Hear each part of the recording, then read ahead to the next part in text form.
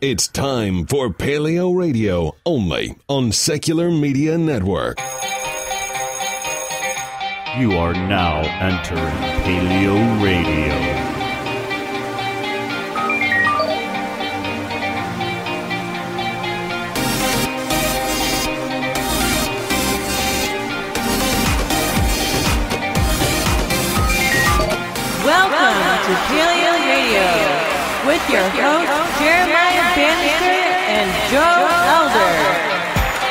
My gosh, we love doing this so much, not gonna lie. My name is Jeremiah Bannister, And I'm Joe Elder. and you're listening to Paleo Radio broadcasting right here in the beautiful Grand Rapids. Actually, today, guys, election day, right? Yes, it is. It's Yeah. election day. Did you go out and vote, Joe? I did not. I'm not a primary voter. Never have been. You know, I know Ed Brayton's not either uh, over at Patheos. He isn't either. I went out and voted today. My wife went out and voted. Actually, uh, Nathan brought me to the voting uh, station today, the precinct. Went in and voted. First time that I voted in this area since we moved here. Nice. And right afterward, Nathan decided to make a, a video, and it was awesome. He made it was the first episode, first ever, of the Endangered Patriot Rebel Cast. Awesome name. Yeah, and oh, you can yeah. check that out over on Facebook. We even shared it over at uh, facebook.com slash paleo radio. Go check it out. Yeah, and we're looking forward to seeing a lot more of those episodes. It's going to be great. We also have a lot of great articles to run through today, mm-hmm. don't we? Oh, we have tons of them, dude. We're going to start out talking about the claims made by Trump concerning, I don't know, shooting family members of terrorists or bringing back stuff worse than torture, and what an ex CIA chief has said about members of the military disobeying those orders. Awesome article. Next, we're going to find out about homeopathy not being effective in zero out of 68 illnesses. A big study was done on that. It's going to be very interesting. I think that's basically pretty profound. Yeah, not a surprise. I don't think too much. It's but- massive, and and you know, and I've got friends who are into it, so it's going to be an interesting thing, controversial for sure. And then after that, we're going to talk about former Petraeus advisor, Lieutenant Colonel David Kilcullen, saying no ISIS if we didn't invade Iraq. It's something I think you and I have believed for a long time, but this is somebody high profile figure, much much higher, uh, pay grade well above us. Absolutely. It's not a unique idea. There's a lot of people who feel that way as well. Then we're going to finish off with David Brooks, The Governing Cancer of Our Time, which is a fantastic article from the New York Times. That one is going to be a lot of fun. Those are four amazing topics all in a row. Oh, they are dandies. All right, we're going to start out here. The whole thing with Trump, Joe. Yes. I mean, come on now. The the idea and people if you if you haven't heard it from the horse's mouth, it's all over the internet. You can go and find it. No doubt about it. But the idea that that Trump's put out there that he would not only bring back waterboarding, but that waterboarding is kind of a wussified kind of torture and maybe we should try something a little bit more medieval. Yeah, he said, quote, I would bring back waterboarding and I'd bring back a hell of a lot worse than waterboarding. Mm. So, yeah, I think, yeah, maybe thinking the old school rack. Like, what is like he that. thinking? Uh, and here's the thing: every time he talks about it, he always says, "Well, but there are savages. They're cutting people's heads off." Totally true. Mm. You know, they're cutting people's heads off. But is that kind of the measuring stick you're using? is this a hint? Because Well- he's never said what the other kinds are, the more hardcore ones that are more dramatic. He's never said what these things are, and I, Well, unbelievable. far be it from Trump to drop a level lower instead of going a level higher. So to me, that's right with expectation. He would try to meet them at their level. He would try to meet him at their level and just start clopping heads off. Yeah. And not only heads of, of terrorists, but also possibly terrorist families. Maybe some kids, maybe some wives, maybe some old people. Well, it- it doesn't necessarily matter that they're connected, but it's something we're definitely going to do. Yeah. So there was there was two insane. two major quotes that he relied on, right? The one about waterboarding, and then he had talked about killing terrorist families, mm-hmm. you know, and saying you have to go after them. And there was a uh, member of the National Security Agency that was on Bill Maher's show a little while back that had discussed this exact thing. Right. The former director of the Central Intelligence Agency and the National Security Agency said Friday that the military would have to disobey Donald Trump if he followed through on certain campaign promises as president. These are the ones we've just talked about. Referring to Trump's suggestion to torture suspected terrorists and kill their families, General Michael Hayden told TV host Bill Maher, quote, if he were to order that once in government, the American armed forces would refuse to act. He went further and said this you're required not to follow an unlawful order. That would be in violation of all the international laws of armed conflict. I would be incredibly concerned if a President Trump governed in a way that was consistent with the language candidate Trump expressed during the campaign. Well, absolutely. He opens up a pretty interesting bag of worms there, though, I think, to say that they're not required to uh, respond to an order that's illegal or against the law. So the individual soldier is drilled repeatedly over and over again about all the rights that they have to disobey the orders of their higher ups in the military. That's news to me. Well, it's kind of news to me, and I, I went through basic training in the U.S. Navy. I mean, it was something we didn't hear much about that. And I was an education petty officer. That's what I, that was my role within the division that I was part of. And so it was something I probably should have known or should have been told or should have read somewhere about what are the parameters of this. Because when you get in, my experience, and this is anecdotal, take it for what it's worth. When I was in, I was told a lot of times by superiors of mine that if they gave me an order, that I had to obey that order and that if I didn't, I would go to the brig. And here's the thing. I don't have an answer exactly on this. I really don't. I don't know where that line is. Um, and I think that a lot of a lot of people, especially enlisted people in the military, they also don't know where that line is. But one thing's for sure: let's say that there's a situation where a sailor says, "I'm not going to obey that order. I think it's wrong. Go torture this kid over there. We heard he, she's related to a terrorist." If that if that sailor says, "I'm not going to go and do that," that sailor for a time may be put in the brig may not be treated right, may even be shuffled out with a, a, dishonorable discharge or a general under honorable or something. That kind of thing can and probably does happen. But unless people actually know what the rules are and what they're able to say no to, that's a hard thing. You can say it all day long, but when the rubber hits the road, if they don't know it, it's of no value whatsoever it depends on what the president says and how that's reverberated amongst the people in the military. Because if no general takes up this order and stops him right there and says, you know, the people that are in the Oval Office talking to him and they're saying, listen, that's not that's not an option that we're going to be sending down to our troops. That we're going to be targeting civilians that aren't involved in in the war. We're not going to do that. It's against the Geneva Convention. That'd be one thing if we get down to the point where it is a sergeant telling privates what they're going to be doing, absolutely.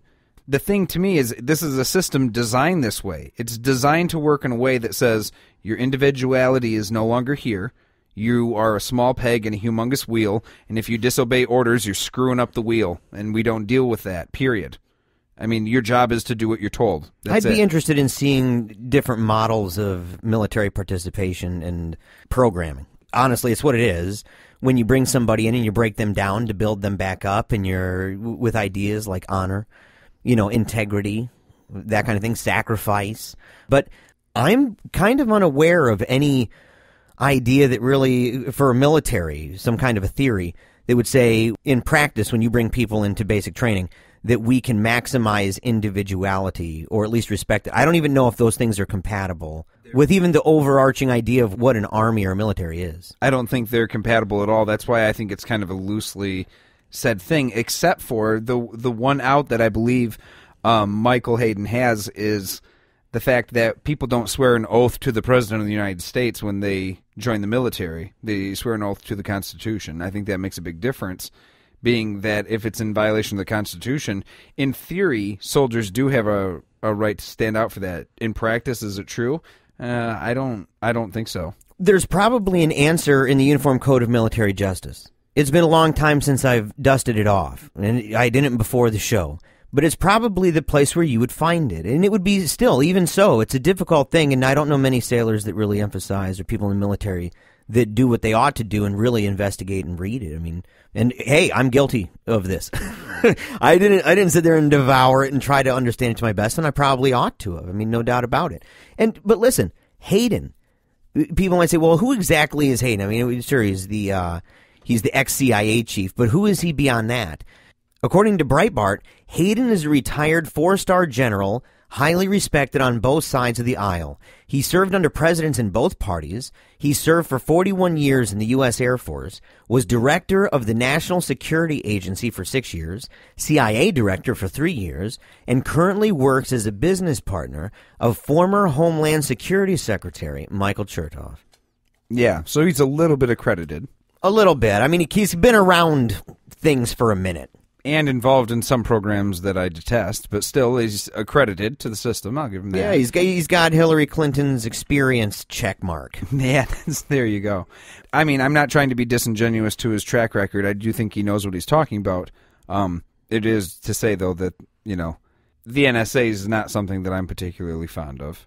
But on this, he's definitely an authority. He would know. He would know the law in, in question here, whether or not people in the military would have to obey such an order. And you mentioned something earlier, saying you know it would be in violation of international law, and it got me to thinking. In the article here, unlike many other countries, U.S. military officers do not swear an oath of obedience to the commander in chief.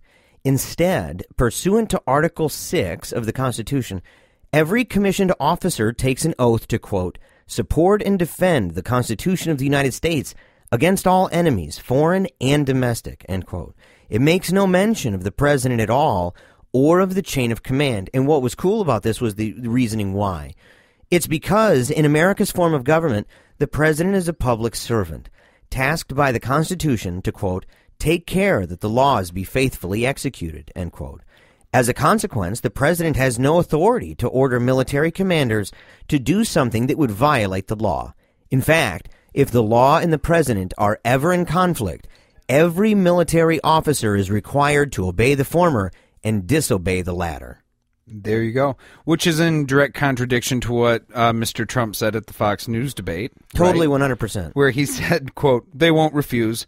They're not going to refuse me. If I say to do it, they're going to do it." That is totally authoritarian, and it, it misses a really old kind of conclusion that we've drawn that we are a nation that's Lex Rex and not Rex Lex. The law is king, king is not law. That's the United States. That would make America great again. Yeah, that would make America great again. Having an authoritarian figure that says he's going to burrow his way through everybody's opinions and just get them to do what he says is not the answer that we want. Up next, homeopathy, not being very effective. But we are. Stick around. Love Paleo Radio? Join the club. Support our work by visiting patreon.com slash paleo radio today.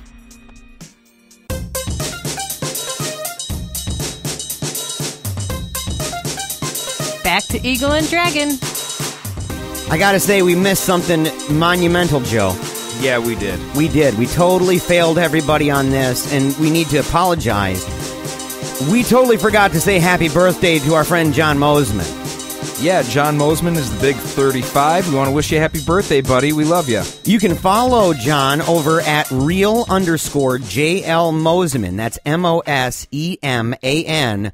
On Twitter, he's a moderate conservative Christian blogger and podcaster bringing passion, humor, and honest perspective. Find out more about him by going to jlmoseman.net. And I gotta say, he's a fantastic human being. You know, we live in a world where we understand that not everybody's going to agree and we can set some differences aside.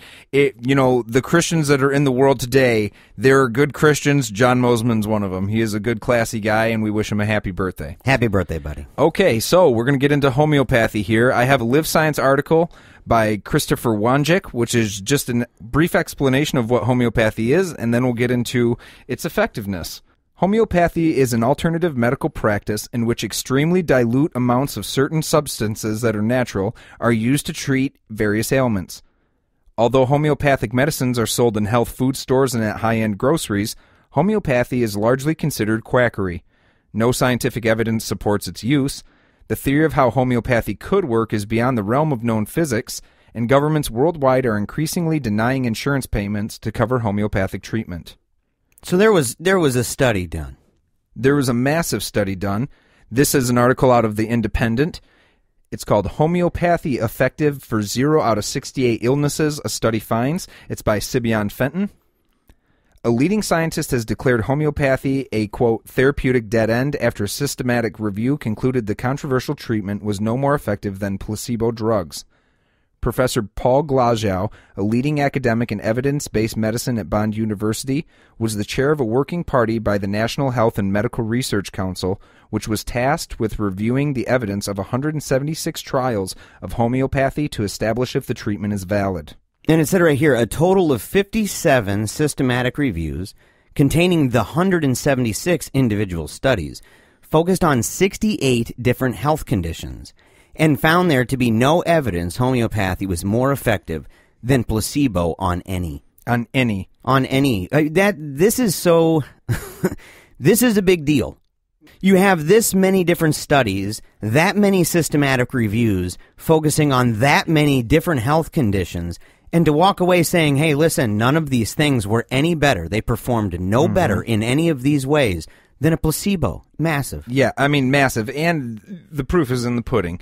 Glasziou states, quote, as chair of the working party which produced the report, I simply was relieved that the arduous journey of sifting through and synthesizing the evidence was at an end. I had begun the journey with a, quote, I don't know attitude, curious of whether this unlikely treatment could ever work. But I lost interest after looking at 57 systematic reviews, which contained 176 individual studies, and found no discernible evidence convincing effects beyond placebo. And that's his own quote. And he wrote that over at the British Medical Journal, Yes, he did. in a blog for them. And just to give you guys a little bit more information, I'm skipping back to the Live Science article. Homeopathy was developed in the late 18th century by Samuel Hahnemann, a respected doctor in Germany. Hahnemann believed that like cures like, and that minute concentrations of a particular toxin could cure the very same symptoms it would cause in larger doses. Think poison ivy to treat rashes. Uh, you know, you hear this a lot actually. And I listen, I've got close friends. I said this in the intro. I've got close friends who who believe in this. People who believe in the essential oils or that may believe in homeopathy, naturopathy. Yes. You know, I mean all of these all these different things and yet what do you do? Well, I mean, You're up against a wall. I, I don't know what to say other than, hey, this is a big deal. And listen to what you said. I've heard that from every every one of them. Where if they say, hey, uh, this might cause some stomach pains, but you're fighting stomach pains with stomach pains. The idea, the philosophy of fighting fire with fire. But it, when you say things like that, fighting a rash with poison ivy, that's a little. and most of them would say, well, no, of course, that sounds crazy. We would never that's right. that. But they would say it's another thing that causes a rash on that. right. or but it's a lesser a lesser version of the rash. But you know, we have to it just has to be mentioned that this again it happened in the 18th century. It was at a time where common medical practice was things like bloodletting. So the idea of like cures like really could hold some weight back in the 18th century, but now we have advanced science and we have a way of evaluating it to a point where we can we can have discernible evidence if it's useful or not. And that's where we need to change our minds to me, I think it's people have a fascination with looking back into old books and assuming that there's hidden gems in there, the same way that there's diamonds inside of a mine somewhere. And I'm not going to sit here and say that there's not some here or there, but for medical practices, no way. You're not going to find something 2,000 years ago that is the better the better treatment for modern day medicine today. You we may find something that has been used all along for a long period of time that's withstood the test of time and is proven to be a good medicine that has been used since a certain date. Yes, I'll I think that's wasn't true. there wasn't there the Nobel went to somebody who was using was it mushrooms? Yeah. I think or some kind of an old uh, Chinese folk remedy Yes. and used it and that it, they said that it, there were benefits to it. Sure. I'm wondering how that plays in or does not play in in this discussion. Sure. Well, I think it does. I mean, but the reason why she got her Nobel Prize is because the proof was in the pudding of her studies. I think you're right. We'll have to look this up. I think it was on mushrooms. But when she took it and put it against the actual modern day test of science to see if it's valid or not, it passed. That's that is something that we can do. The idea of going back to homeopathy and saying I think homeopathy works, but I don't want to put it to the standards of modern day science but it works. I think that's I, that's a moment to call BS. Which is what they do. They did that in Switzerland. Yeah. I mean, that was a country because they that country came to a different conclusion, yes. right? I mean, there was a piece. Where was that? It was over at Huffington Post. Well, yeah. The Right. somebody from Switzerland came with up, up with that, but the Well, Swiss government. The, Swiss- Swiss, government report on homeopathic medicine uh, that they were saying was the most comprehensive evaluation that had ever been written by the government. and they came to the conclusion that it was it was really a good thing. I mean, it said not only did it have comprehensive review of the body of evidence from randomized, double-blind, and placebo-controlled clinical trials, but at the end, they believe that it was what did they say? The Swiss report found a particularly strong body of evidence to support the homeopathic treatment of things like, for example, upper respiratory tract infections and respiratory allergies. It cites a whole bunch of things. The only problem is they used things like, quote, real world effectiveness, What's that? right? Which is kind of this speak for, like the article says, poorly controlled studies. it just kind of is. Yeah. They factored in all of these different things. And what did it say? I think like 50% of Switzerland, the people in Switzerland, believe in that kind of thing anyway. So they're mm-hmm. already tilted in that direction. I think the question is, again, the the Swiss government didn't say we did a series of 58 tests on 176 different examples looking at 68 illnesses and found X, Y, and Z. They said, no, overall it's effective, it's good, and we've compared it to real world standards. What in the world does that even mean? It said it said they also evaluated the quote real world effectiveness as well as safety and cost effectiveness. The report also conducted a highly comprehensive review of the wide body of preclinical research, fundamental physiochemical research, botanical studies, animal studies, and in vitro studies with human cells. But listen, that's Switzerland, right? But then you have the United Kingdom. the United hmm. Kingdom, they came out with something. This is over at sciencebasedmedicine.org. You got to go check it out. It says in 2010, the UK government performed their own systematic review of homeopathy. In their report, they concluded that homeopathy is essentially witchcraft, that it does not work, its underlying principles are scientifically invalid and tantamount to magic, that it should not be covered by the National Health Service, and that it is not even worth any further research. And so I, and it's not just kinda- it's not just England. I mean, the the scientific community has come out and strongly opposed the uh, Swiss report. This is science based medicine. In 2011, the Swiss government completed an official examination of homeopathy as part of its consideration of whether or not to insure it. Dana Ullman, writing of the Huffington Post, was quick to proclaim the virtues of the Swiss report and touted it as evidence for its effectiveness of homeopathy. Recently, however, a more critical review of the Swiss report has been published, revealing the report to be biased and scientifically suspect. There's also some reports that have gone after the Swiss government for Right. for their Why? Why do you think it is, man, that we're seeing kind of almost like a resurgence of interest in things like chakras? What is the reason for this? Well, I think there's there's a response to big pharma. I think more of a logical explanation, but I think the general one is most people do seriously think that healthcare was better at a certain time back in certain days that more people were dying. I mean literally, that's what they think. They think that some use of back then a whole practice just got rolled over by modern medicine and there's other ways to cure their cure your body, but I think the difference is, and I we already talked about this, is they're not willing to put that up to scientific scrutiny because they say the scientific system is flawed, and that is their own bias defending themselves from serious scrutiny of their ideas. Because it doesn't seem to ever rise to the occasion.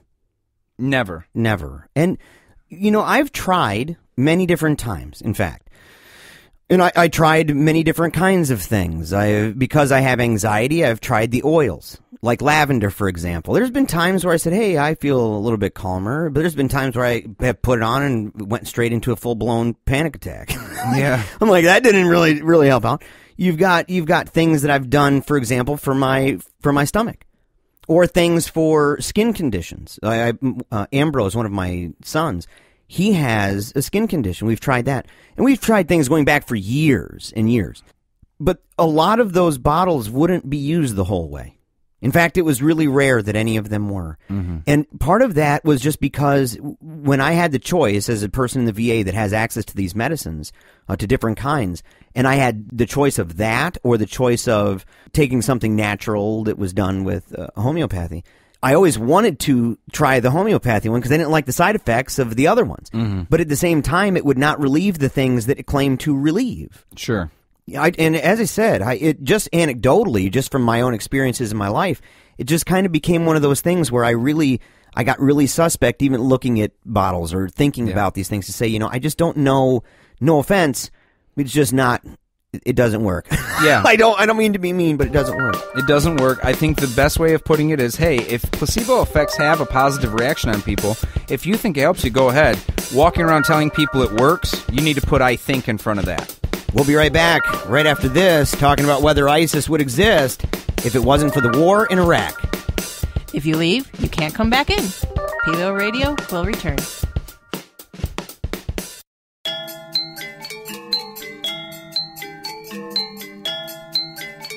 Now back to Joe and Jeremiah.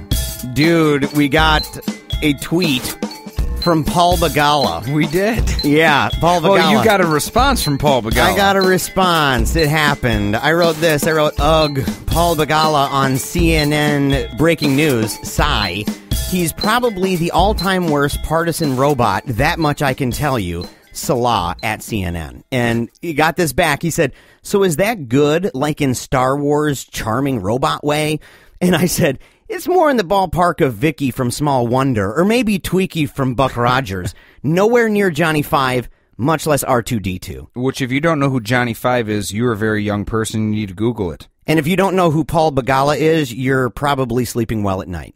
Yeah, I would. I'd have to think. No that too. offense, Paul, but you kind of suck. No offense. I don't say that. Listen, I don't say that about very many people, but he's he's a real douche. He is. He really is. All right. Former Petraeus advisor, Lieutenant Colonel David Kilcullen. No ISIS if we didn't invade Iraq. This is out of warincontext.org. The greatest strategic screw up since Hitler's invasion of Russia. That's how David Kilcullen describes George W. Bush's invasion of Iraq in 2003.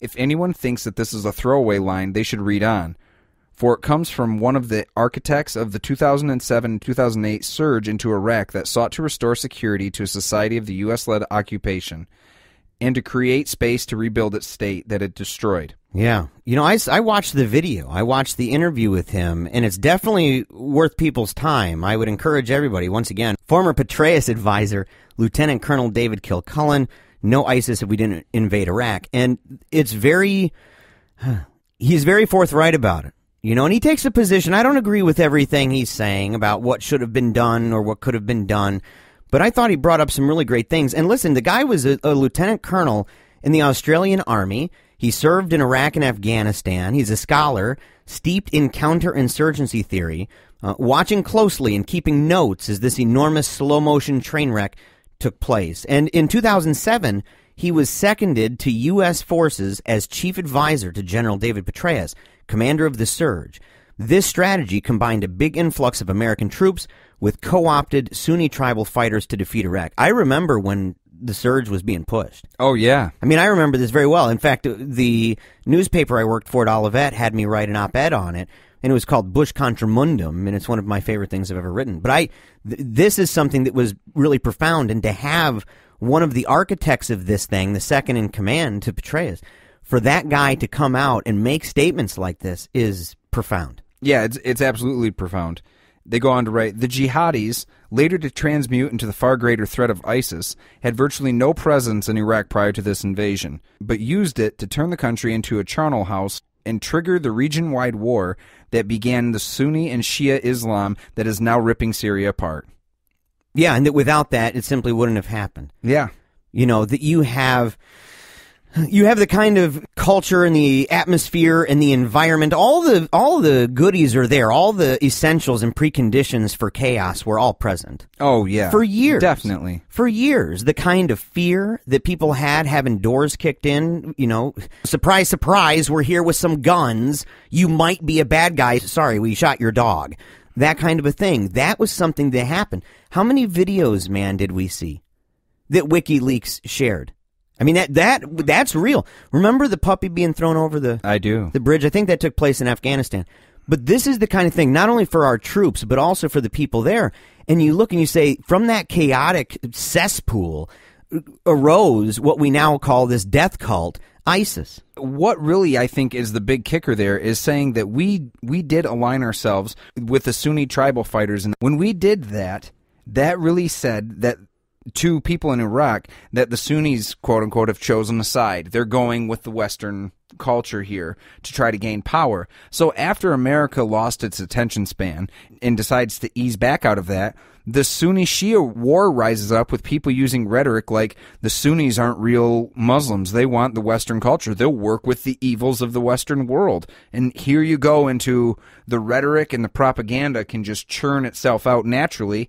You mix that with a destabilized country and you mix that with a bunch of military leaders who have religious affiliations that they're willing to fight and die for, and boom, you have an ISIS in Syria, and you have a full blown regional war. What do you think? It says he believed that the idea with the surge that it worked, and that part of the reason is that we left too soon. Not only that we have this limited, exhausted attention span, but also that we pulled out our troops too quickly. And he says Obama made a promise to do it even though he was advised to the contrary, he still made good on that promise. And at the time, I was really excited about that. And I think that that was a good thing. It wasn't paraded very well. There wasn't much uh, partying going on with that.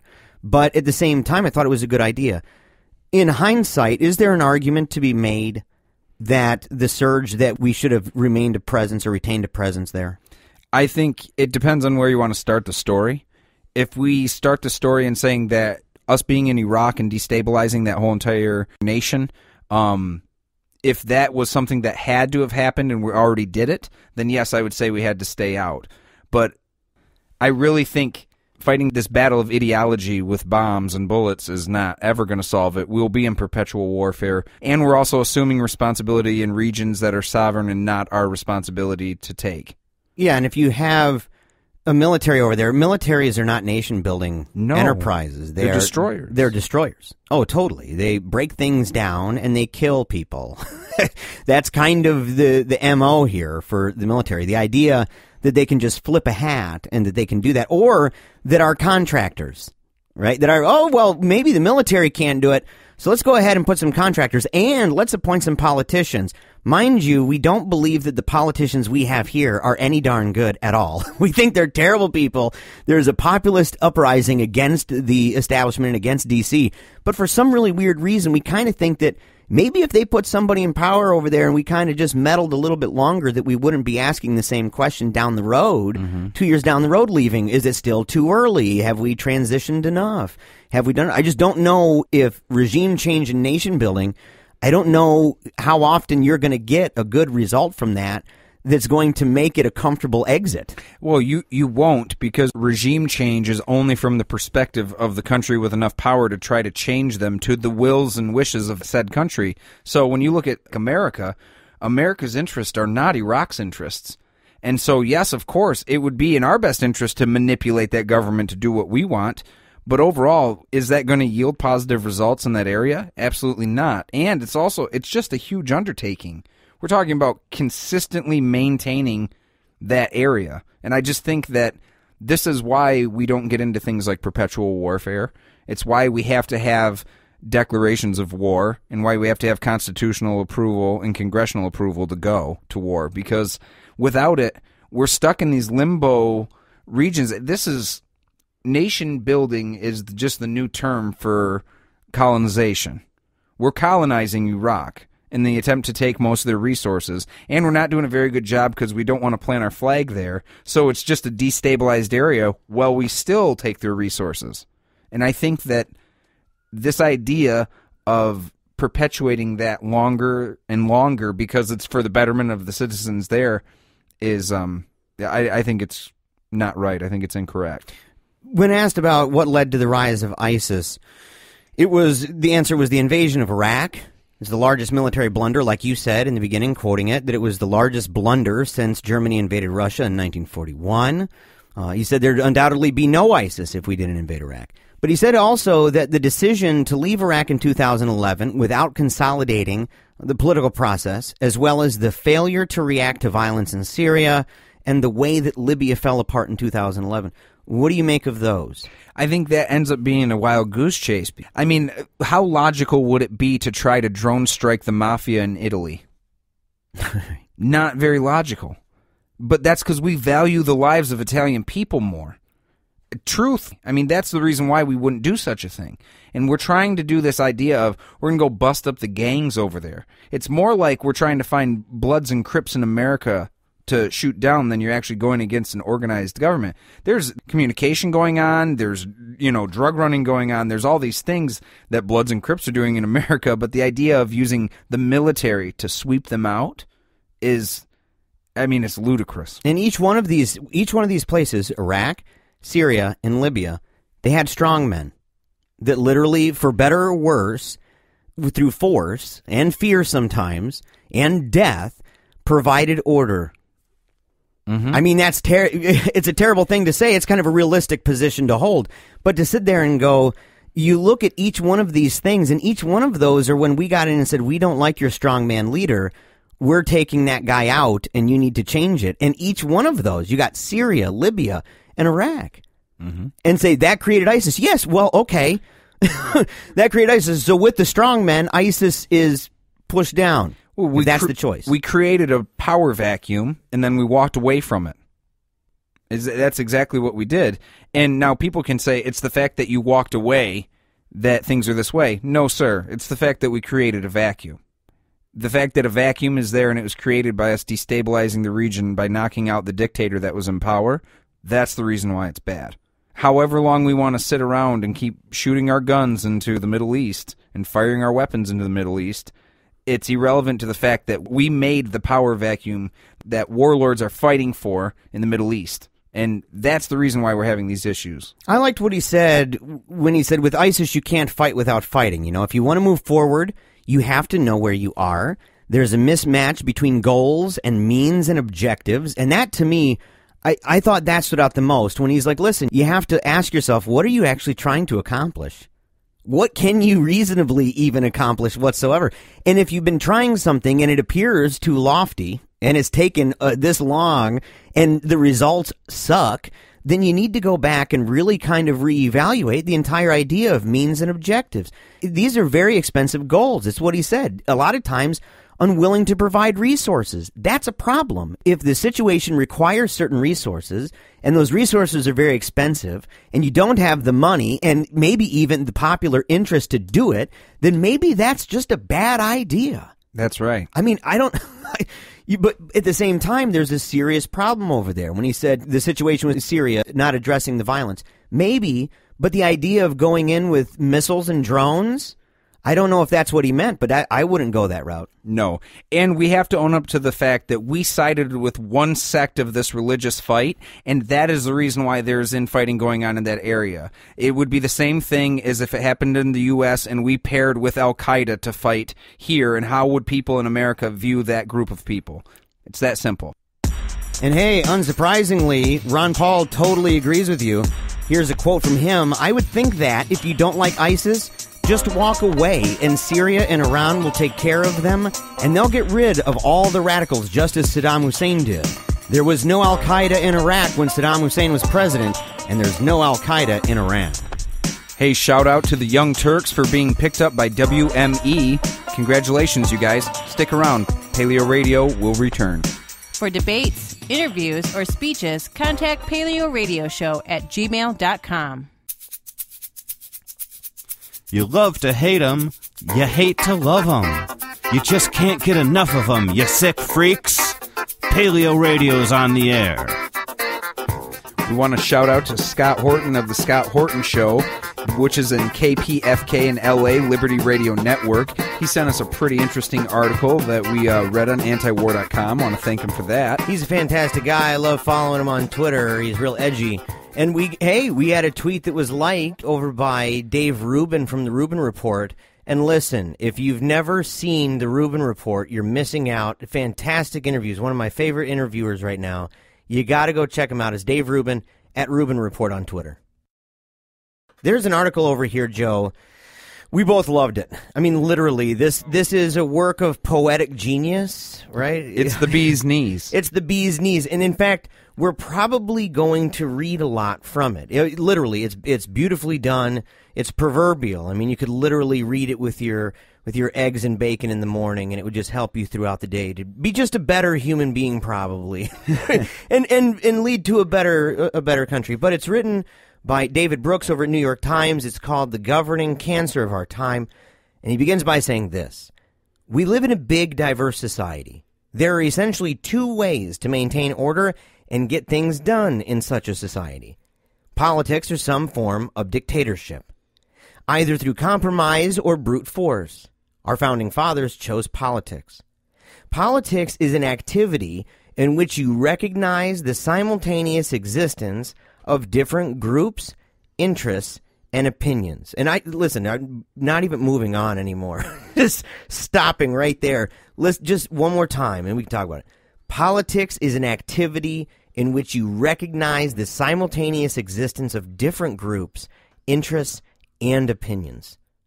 It's a, yeah, reality's outside your brain, folks. Yeah, and I think that's why there's a lot of people that don't like politics in general, just because it's bringing on this idea of of being conflicted and having to look through certain things and get more information about things to make your decisions. There's a lot of people that just feel I've already made my decision. I don't want to be influenced or anyway, and they're they've kind of been coerced into this thinking that politics is a bad thing. It's a negative thing, like a like a lawyer is even though people actually have lawyers for a lot of good reasons. Right. But they only think of a lawyer and they think, oh man, this person's detestable, they're awful, they do X or Y or Z or when whatever. they're in a jam. And it's the same exact thing with politicians in the political system because exactly as Brooks writes, it is the recognition of other ideas and groups. I used to think of it like this and say, if you have, let's imagine six different tribes, six different groups that are kind of situated and they're all separated and everything and let's say that they want to get together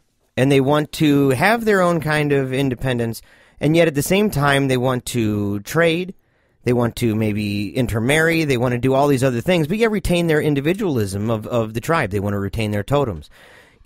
If you want that, you have to come up with some kind of political scheme that says we recognize and respect the existence of different groups and opinions and interests.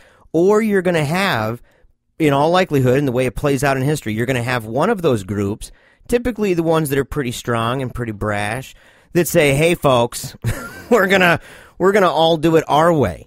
And I said, you know, if you take that and you look at society at large, microcosm, macrocosm. I don't think it's too Twilight Zoney to think about it like it's basically implied within itself. If you want the individuality, you have to make a rule. You have to have the group acknowledge rules that give you the individuality. I mean, if there's other groups there. Otherwise, we're just talking about the biggest group with the biggest sticks. And that's the one that makes all the rules anyway. Where's your individuality there? It's gone. So, I mean, this is why I disagree with the anarchistic principle. The idea that we can do this all in a on a voluntary basis and we can get all our own goods. It doesn't work like that when somebody doesn't adhere to your system and works from the outside of it. What do you do to deal with that person? Well, you all have to collectively get together and make decisions of how you deal with him. What are you doing? You're governing what you're going to do in your community when you get in a little group and decide. And I just think that it's just a game that we play here. I mean, if you want anything organized with more than 10 people, in a way, it's political governance. You know, and I'm glad that David Brooks said what he said here then. You try to find some way to balance or reconcile or compromise those interests, or at least a majority of them because I, I'm with you, you know, and I saw I when I reported on Occupy and I was involved with Occupy, I saw the consensus model in action, and I I realized just how similar it was to the models of, of ecclesiastical government um, with the Baptist churches and congregational churches. And I said, there's a reason why we have a lot of different Baptist churches. Oh yeah, and buggers split like really, really fast. Over disagreements over, about how many pews should have been in the chapel and stuff. Probably sometimes. Yeah, because what do you do? I mean, you're going to ha- there's going to be an impasse, and what happens at the impasse? But anyway, you try to balance these things out, and you at least try. You at least try to get the majority of them. You follow a set of rules enshrined in a constitution or in a custom to help you reach these compromises in a way everybody considers legitimate. Now, I would have said uh, the majority of people consider legitimate. I think he did well the first time around. He shouldn't have said everybody because you're not going to have that. That's a tough sell, big time. Yeah, it's a very tough sell. But he moves into getting more specific with American culture and, uh, well, I guess international culture as well when he says, Over the past generation, we have seen the rise of a group of people who are against politics. These groups, best exemplified by the Tea Party, but not exclusive to the right, want to elect people who have no political experience. They want, quote, outsiders. They delegitimize compromise and deal making. They're willing to trample on the customs and rules that give legitimacy to the legislative decision making if it helps to gain power. Mm-hmm. Which I think is that is just spot on. He goes on to say ultimately, they don't recognize other people. They suffer from a form of political narcissism in which they don't accept the legitimacy of other interests and other opinions. They don't recognize restraints. They want total victories for themselves and their doctrine. It sounds almost Freudian, like the civilization and its discontents. The idea that one of the real problems is that other people are outside of our brain. There's other people here. You're going to be in the utopia or we'll kick you out of the whole thing. Right. And so they don't recognize other people. And in the idea of they don't accept the legitimacy of other interests and opinions, I wonder how much of that is kind of going along with the evolution in American history with Protestantism. The idea that there's no, I mean, we're very Protestant as a nation. It's almost, a, it's a defining characteristic in many ways. And like Brooks says, the downside of politics is that people never really get everything they want. I mean, we all know that. That doesn't that seem to just be right at the forefront of everybody's mind this election year is that even with the high hopes we've had in certain presidential candidates that it seems like this constant uh, groundhog day replay of betrayal scandal and lies and, and all this stuff and it seems that way Oh, it does seem that way. And it always continues to seem that way when people don't work within the process. So the process falls into stagnation, right? That's exactly what we're seeing in the first place. I think so. You know, and even when you get something really good, something you want, like let's say, take for example the Affordable Care Act. The Affordable Care Act is better than what we had before.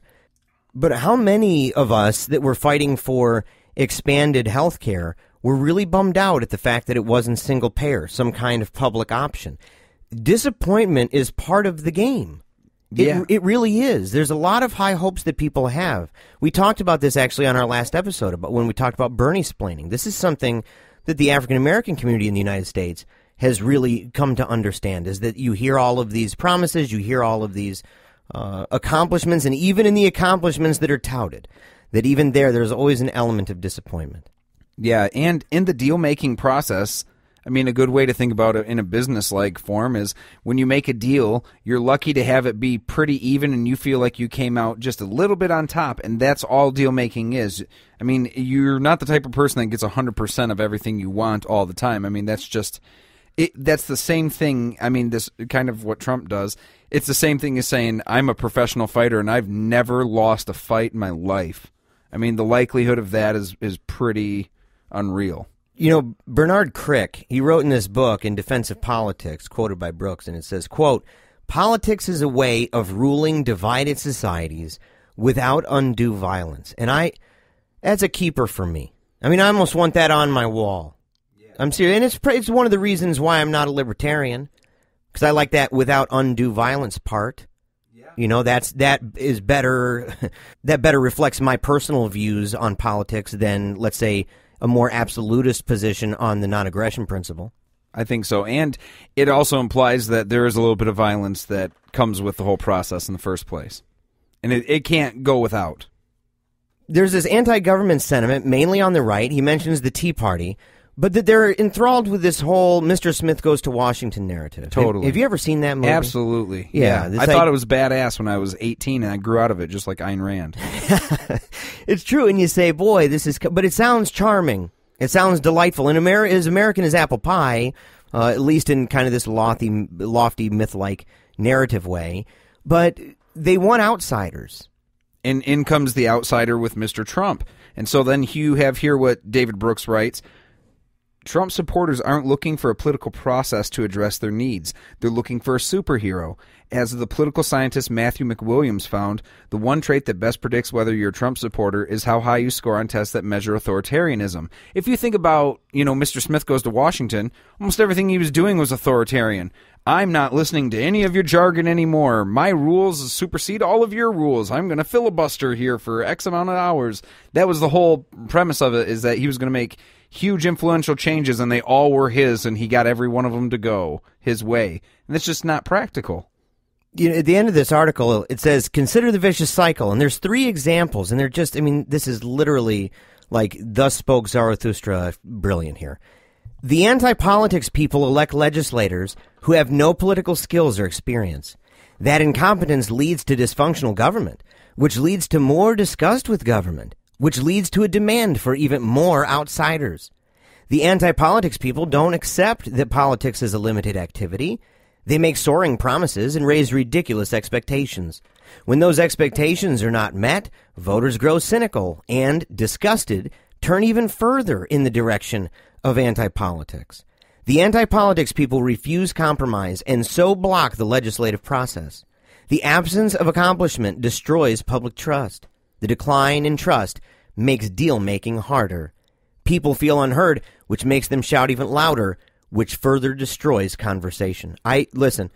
Seriously, once again, you, if you want to give me a gift ever, go ahead and just have that put on some kind of plaque I can put on my wall because it's it's beautiful. Yeah, absolutely. The closing paragraph nails it as well. This isn't just an American phenomenon. Politics is in retreat and authoritarianism is on the rise worldwide. The answer to Trump is politics. It's acknowledging other people exist. It's taking pleasure in the difference and hammering out workable arrangements. As Harold Laski put it, quote, we shall make the basis of our state consent on disagreement. Therein shall we ensure the deepest harmony. It's powerful. Go read the article. Genius, New York Times. Listen, Joe, it's over, bro. It's all over, and man, how fast does it go? You've got something coming up this weekend. I do. I will be part of Laugh Fest. I will be at Sunday Night Funnies at the hotel on Ann Street here in Grand Rapids on Sunday, March 13th. You guys got to be there. Check it out. Thanks for listening. We'll see you next week. You've been listening to Paleo Radio exclusively with Secular Media Group.